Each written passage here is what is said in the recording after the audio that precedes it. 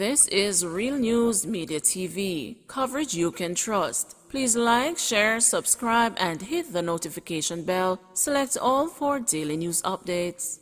Contractor killed and a man injured in gun attack at a bar in St. Mary.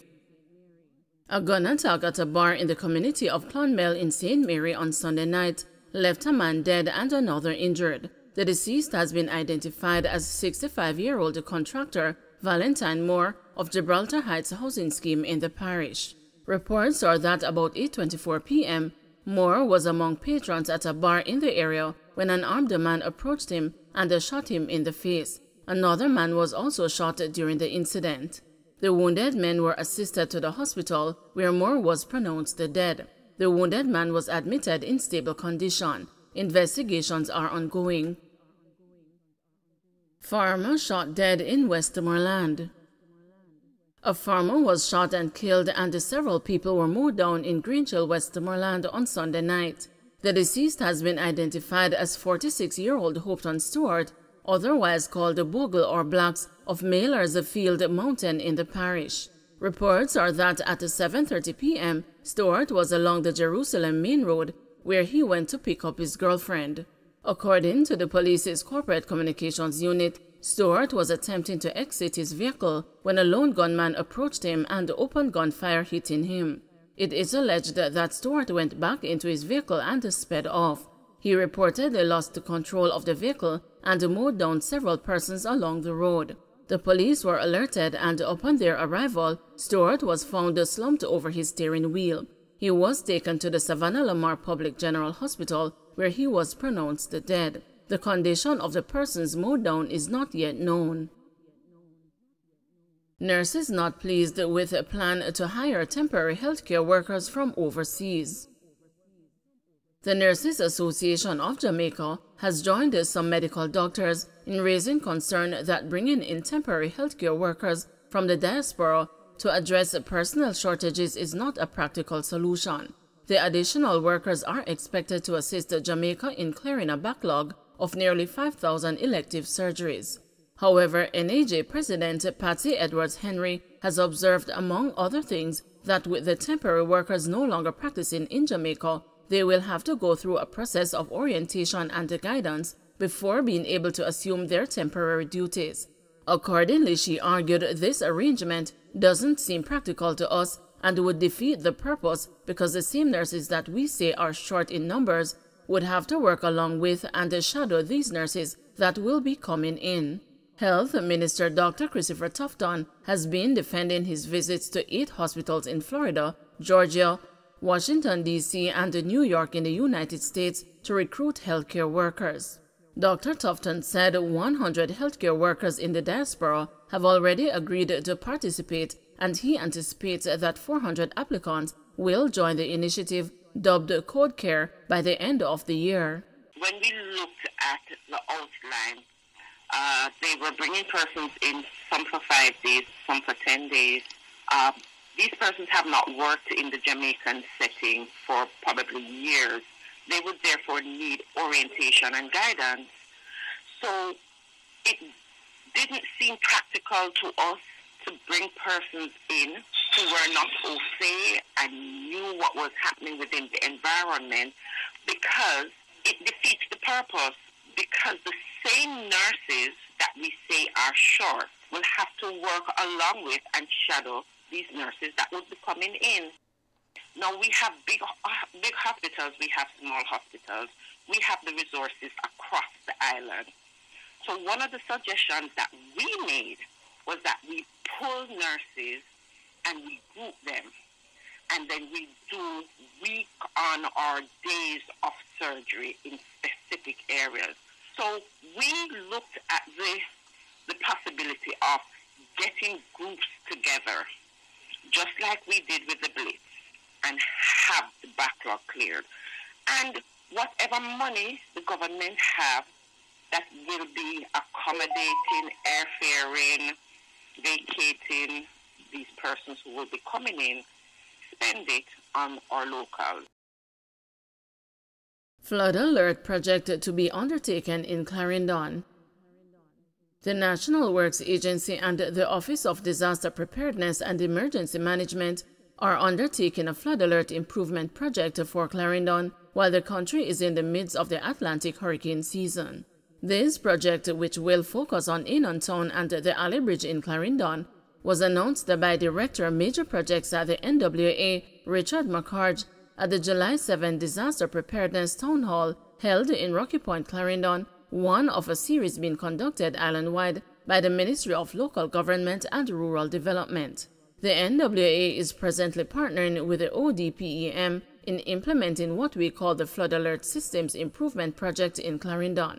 The purpose of the project is to improve the flood alert system to protect the life and the property, McCarge said.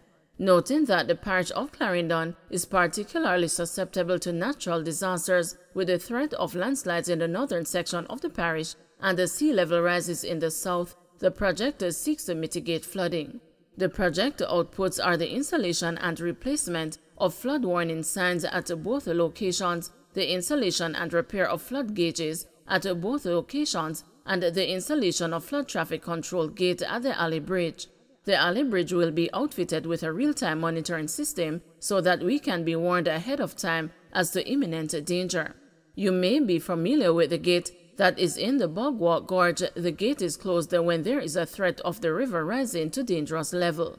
We will seek working along with ODPEM to have a similar control gate established at the Alley Bridge, McCarge noted. The NWA embarked on a disaster mitigation program prior to the start of the 2022 Atlantic hurricane season and has started its extensive drain cleaning exercise which targets critical drains along the main road network.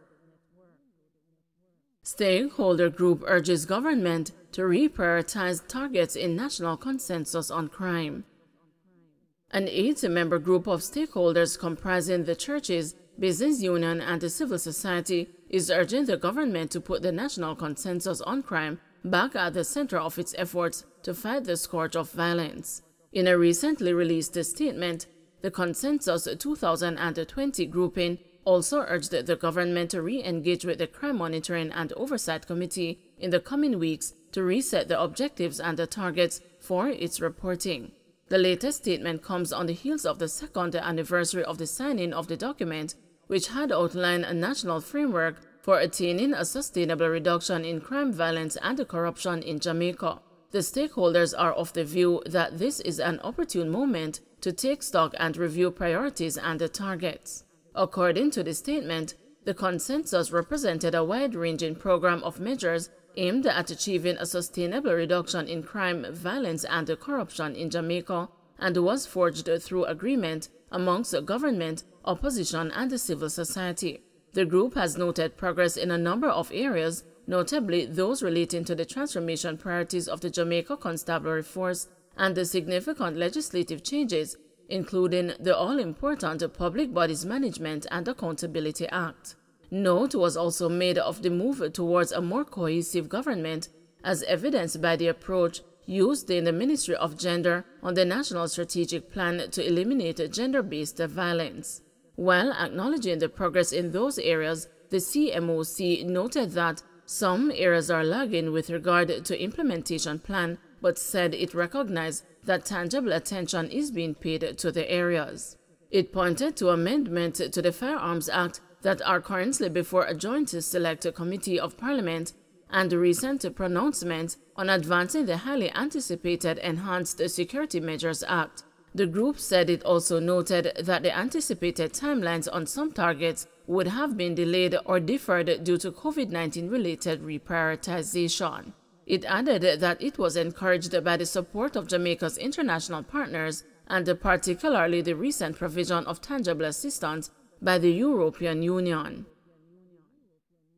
Educator calls for resocialization of boys to improve academic performance.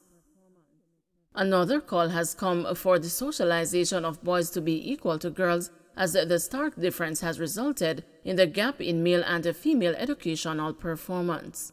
The discussion has been reignited following the release of the results of this year's primary exit profile exams, which showed that female students outperformed their male counterparts.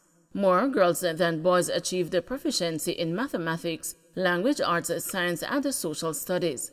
Speaking with the news, Linvern Wright, president of the Jamaica Association of Principals of Secondary Schools, said too many areas which could stimulate interest in learning for boys are considered feminine and therefore bad for them. Children have to come to school with a particular kind of approach to learning. They have to come to school with, with, with, with what I call social capital, right? And, and it's not my term, it's something that came out of, of, of research too. And, and if it is that, for example, girls come having been orientated to being friendly with books, they are going to do better in language arts. You know, not to mention, you know, many studies in language showing that girls tend to have a kind of linguistic focus a little more than boys. So there has got to be things that are going to be assisting boys to develop that kind of thing. In the way we, we, we, we our, our, our norms are in society.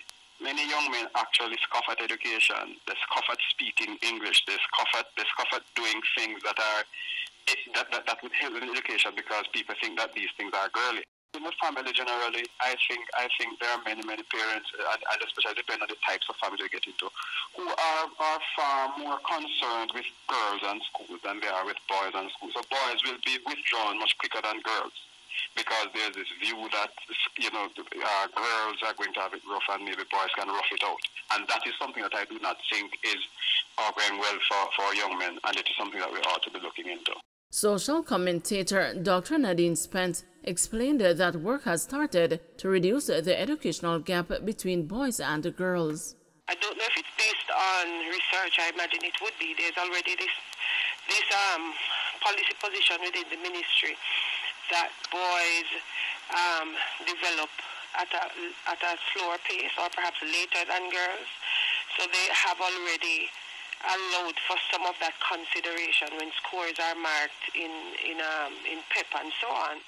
But, so what we are seeing is that that that kind of um, preferential treatment that is allocated to boys still boys is still not working, and it goes to two things. I think for us to reconsider how the education system um, treats with boys versus girls.